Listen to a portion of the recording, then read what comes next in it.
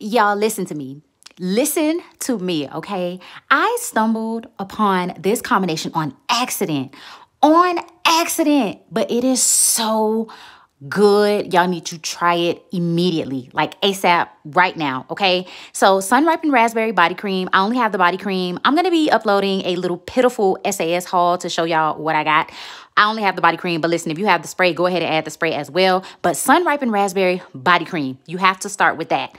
Then you have to add Strawberry Snowflakes Fine Fragrance Mist. Y'all know how I feel about this scent. It is absolutely amazing. It's a strawberry milk fragrance. Sun Ripened Raspberry is a little bit of a powdery, um, kind of sweet, candy-like strawberry scent.